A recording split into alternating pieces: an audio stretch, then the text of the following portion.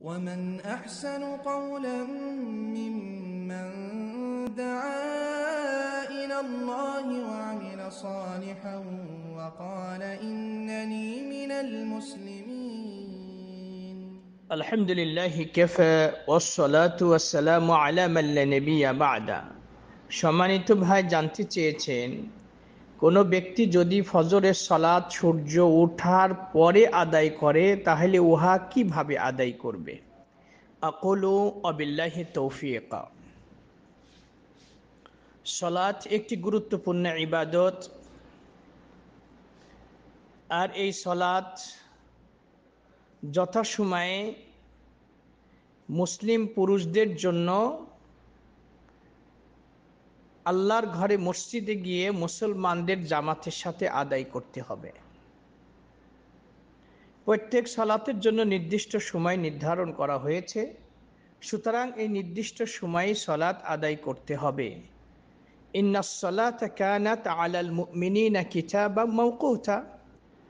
মমিনদের উপরে যথাসময় সলাৎ আদায় করা, এটি জরুরিভাবে নির্ধারণ করা হয়েছে। সুতরাং যথাসময়ে নামাজ আদায় না করে ওই নামাজের সময় অতিবাহিত হওয়ার পরে আদায় করার ব্যাপারে কিন্তু যথেষ্ট হাদিসে কঠোরতা আরোপ করা হয়েছে। কঠিন শাস্তির কথা বলা হয়েছে। আল্লাহ রব্বাল্লা আলমিন বলেন ফওয়াইলুল্লিল মুসাল্লিন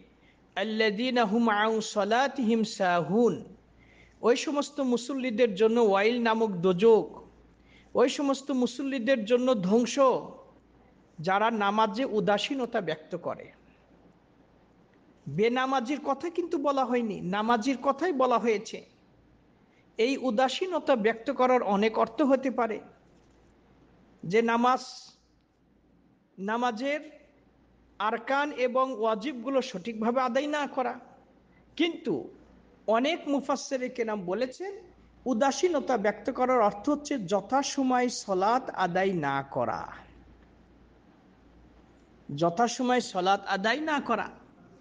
আল্লাহ রব্বাল্লা আলমিন যারা এই নামাজ লেটি পড়ে, এটি মুনাফিকদের একটা গুণ হিসাবে উল্লেখ করেছেন। ফখলাফা মিম বাদিহিম খলফ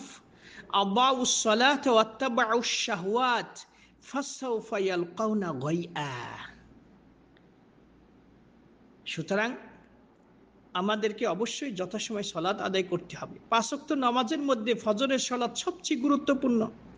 আপনি ফজরের সলাৎ যদি জামাতের সাথে আদায় করেন, অর্ধেক রাত্র জেগে থেকে ইবাদত করলে যে নেকি আল্লাহ সুবহান আপনার আমল নামে এই নেকি দান করবেন। হাদিসে এসেছে উসমান বিন আফফান রদ্দাল্লাহ তালানু থেকে বর্ণিত রাসুল সাল্লাহ ইসলাম ইরশাদ ফরমান, যেই ব্যক্তি ঈশা সলাদ জামাতের সাথে আদায় করবে, অর্ধেক রাত্র জেগে থেকে ইবাদত করলে যে নেকি আল্লাহ তার আমল নামে সেই নেকি দান করবেন। পক্ষান্তরে কোনো ব্যক্তি যদি ফজরের সলাদ জামাতের সাথে আদায় করে, তাহলে পুরা রাত জেগে থেকে ইবাদত করলে যে নেকি আল্লাহ তার আমল নামে সেই নেকি দান করবেন। সুতরাং ঈশা এবং ফজরের সলাদ যদি আমরা জামাতের সাথে আদায় করি, সারা রাত জেগে কোনো ব্যক্তি তাহাজ্যতে সলাৎ আদায় করলে যে নেকি আল্লাহ আমার আমল নামে সেই নেকি দান করবে। এছাড়া রাসুল সাহেব বলেছেন মাংসল্লা সুবহ মাল জামা ফৌয়াফি জিম্মাতিল্লা যে ব্যক্তি ফজরের সলাদ জামাতের সাথে আদায় করবে, সেই ব্যক্তি আল্লাহ জিম্মাদারিতে অবস্থান করবে। এইভাবে অনেক হাদিসে ফজরের সলাৎ জামাতের সাথে আদায়ের ব্যাপারে মানে ফজিলত বর্ণিত হয়েছে। সুতরাং ইচ্ছাকৃতভাবে ফজরের সলাদ সূর্য ওঠার পরে আদায় করা এটা অনুচিত। কোন কোন উলায়মাইকেরাম এতটা কঠোরতা আরোপ করি বলেছেন, কোনো ব্যক্তি যদি ইচ্ছাকৃতভাবে ফজরের সলাৎ কাজা করে, তাহলে সে মুসলমান থাকবে কিনা সন্দেহ আছে।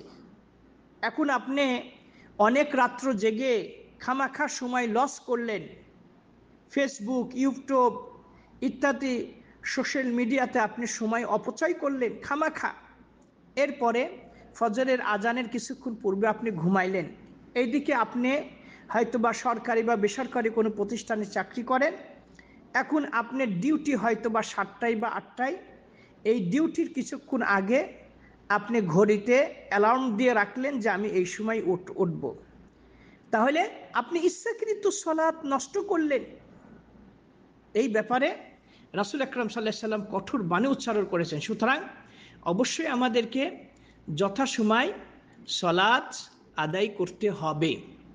কোনো ব্যক্তি যদি যথাসময় সলাৎ আদায় করার নিয়ত আছে, কিন্তু কারণবশত সে হয়তোবা নামাজ যথাসময় পড়তে পারল না তাহলে যখন তার স্মরণ হবে তখনই যদি নামাজটা পড়ে নেয় তাহলে এটি হচ্ছে তার জন্য কাফারা রাসুল সাল্লাহ আলাই সাল্লাম বলেছেন মান্নাসিয়া সলাতান আউ না মা আনহা فكفارتها أن يصليها إذا ذكرها لا كفارة لها إلا ذلك ওয়াকিমিস সলাত আলে জিক্রি মোত্তাফাকুন আলাই যে কোনো ব্যক্তি যদি কোনো নামাজ পড়তে যদি ভুলে যায় অথবা কোনো নামাজে ঘুমের কারণে যদি পড়তে না পারে, তাহলে যখন সে ওই নামাজটা স্মরণ হবে, যখন সে ঘুম থেকে জাগবে, তখনই যদি সলাদটা আদায় করে নেয়, এটি হচ্ছে তার এই নামাজ যত সময় আদায় না করার কাফারা আমাদের মধ্যে একটা প্রবণতা আছে। কেউ যদি মানে একক্ত সলাদ যদি কাজাই হয়ে যায়, তাহলে পরবর্তী দিন ওই ওই নামাজ ওই ওয়াক্তে আদায় করে, এটি ভুল। আপনি যদি জহর নামাজ কাজা হয়ে যায়, আপনি পরের দিন জহর নামাজের সময় পড়বেন না। যখন আপনি আসরের পরে স্মরণ হলো, আসরে পরে পড়েন। আপনি মাগরেবের পরে স্মরণ হলো মাগরেব পরে স্মরণ, যখন এমন কি ওলামাই কেরাম বলেছেন যে, কোনো ব্যক্তি যদি ফরজ সলাৎ কাজা হয়ে যায়, তাহলে যখন স্মরণ হবে তখনই পড়বে, যদিও তার এই স্মরণ হওয়াটা নিষিদ্ধ সময় হোক না কেন। অর্থাৎ যে সময় নামাজ পড়া নিষেধ, এই সময়ও যদি তার এই স্মরণ হয়, তাহলে ওই সময়ে ফরজ সালাদ আদায় করে নিবে। এখন ফজরের সলাৎ আমরা কেরাত, উসো, আওয়াজে পড়ি। কোনো ব্যক্তি যদি সূর্য ওঠার পরে পরে তাহলে এই নামাজটা কীভাবে আদায় করবে? এটি কীভাবে আদায় করবে? প্রথমত, রাসুল আকরম সাল্লাহ আলী হুসাল্লাম ফজরের সলাতের সুন্নাত গুরুত্ব সহকারে আদায় করেছেন। তিনি সফরে এবং নিজ বাসভবনে অবস্থানকালী অবস্থায় ফজরের সুন্নাত এবং বেতের নামাজ তিনি সারতেন না। তাহলে আপনি যদি সূর্য ওঠার পরে ফজরের সলাৎ পড়তে চান, প্রথমে আপনি ফজরের দুই রাখা সুন্নাত পড়বেন, এরপর আপনি ফরজ ফজরের দুই রাখাত ফরজ পড়বেন। এখন এই ফজরের দুই রাখাত ফরজ পড়বেন, আপনি তো দিনের বেলায় পড়ছেন, সেই ক্ষেত্রে কেরাত কি আসতে পড়বেন না জোরে পড়বেন? কেরাত আসতে পড়বেন না জোরে পড়বেন এই ব্যাপারে উলামাই কেরামদের মধ্যে কিছু মতবিরোধ এসেছে। প্রথমত এই যে আপনার যদি রাত্রে নামাজ ছুটে যায় আর রাত্রেই যদি স্মরণ হয়, তাহলে আপনি কেরাত জোরে পড়বেন। অর্থাৎ মাগরেবের নামাজ আপনি ছুটে গেছে বা পড়তে ভুলে গেছেন, আপনি ঈশার পরে আবার রাত্রে যখনই স্মরণ হয়, তখনই আপনি মাগরেব পড়বেন, কিন্তু এক্ষেত্রে কেরাত জোরে পড়বেন। এখন, দিনের বেলায় যেই নামাজে আস্তে কেরাত পড়া হয়, ওই নামাজ যদি ছুটে যায় আর দিনেই যদি আপনি পড়েন, তাহলে আসতে পড়বেন। এখন প্রশ্ন হচ্ছে যে রাত্রের নামাজ ছুটে গেল, আপনি দিনে পড়বেন, অথবা দিনের নামাজ ছুটে গেছে, আপনি রাত্রে পড়বেন, এই ক্ষেত্রে কি? মনে করুন সে জহরের নামাজ আপনি ছুটে গেছে, এখন আপনি মাগরেবের পরে জহর পড়তে চাচ্ছেন বা আসর পড়তে চাচ্ছেন, এখন তো রাত হয়ে গেছে।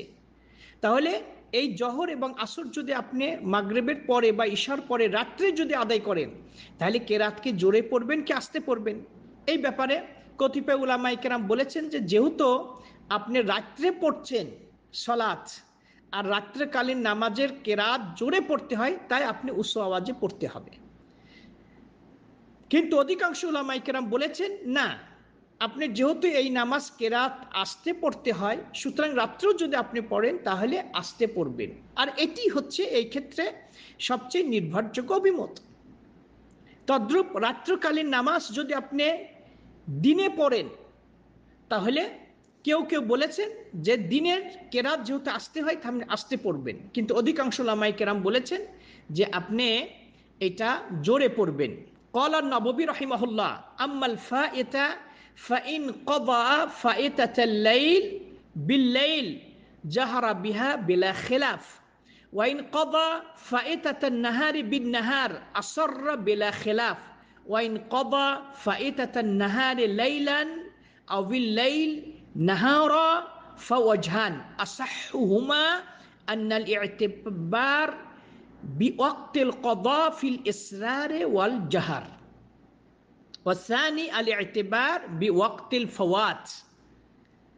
والراجع الله أعلم من فاتته صلاة سرية كالظهر مثلا فإنه يقرأ في قضائها سرا. ولو كان القضاء ليلا. ওমান ফাতাতহু সালাত আজ-জাহরিয়া কাল মাগরিব মাসালা ফাইন্নাহু ইয়াকরাউ ফি কদাইহা জাহরা ওয়ালাউ কানা আল কদাউ নাহারা। ওয়াযালিকা লিআন্না আল কদা ইয়াহকি আল আদা তাহলে এটি হচ্ছে নির্ভরযোগ্য কথা। হাদিসে এসেছে মুসলিম শরীফের হাদিস আবু কাতাদা রদ্দি আল্লাহ তালা আহ থেকে বর্ণিত যে রাসুল আকরম সাল্লাহ আলী হোসাল্লাম একদা তিনি কোনো এক সফরে ছিলেন। অতপর এই সাহাবিদেরকে নিয়ে মরুভূমিতে তিনি অবস্থান করছেন। ইতিমধ্যে একজনকে দায়িত্ব দিয়েছিলেন যে, রাত্রে ফজরের সময় আমাদেরকে তুমি জাগাবা, পাহারার দায়িত্ব পালন করবা। কিন্তু ওই ব্যক্তিও ঘুমিয়ে গেল। অবশেষে সূর্য ওঠার পরে সূর্য তাপ যখন শরীরে লাগল, তখন সকলে ঘুম থেকে জাগলো। রাসুল সাহেব ইন্নালিল্লা পড়লেন। বললেন যে, এই জায়গাটা শয়তানের আসর আছে। ওই জায়গা ট্রান্সফার করে তিনি অন্য জায়গায় একটু স্থানান্তরিত হয়ে বেলালকে বললেন যে, তুমি ফজরের আজান দাও। বেলাল আজান দিলেন। এরপর তিনি ফজরের সুন্নাত পড়লেন। এরপর তিনি ফজরের ফরজ সালাত পড়লেন জোরে কেরাতে। জোরে কেরাতে উসো আওয়াজে ফজরের ফরজ সালাত আদায় করলেন। সুতরাং এই আমরা এক্ষেত্রে রাসুল যেভাবে আদায় করেছেন, আমরা ওইভাবে আদায় করব। ফজরের সলাদ যদি আমরা সূর্য ওঠার পরে পড়ি, তাহলে কেরাত জোরে পড়ব। আল্লাহ আলাম।